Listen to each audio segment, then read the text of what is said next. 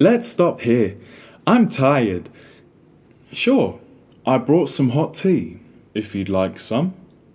So, skiing isn't as easy as you thought, right? Thanks.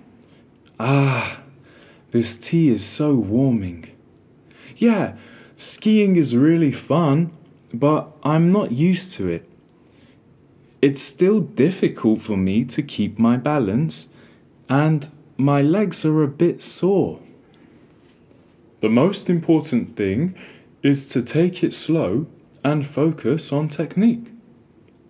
I think you're doing really well for a beginner. I'll keep that in mind. I still can't believe how good you are at snowboarding. How did you learn those skills?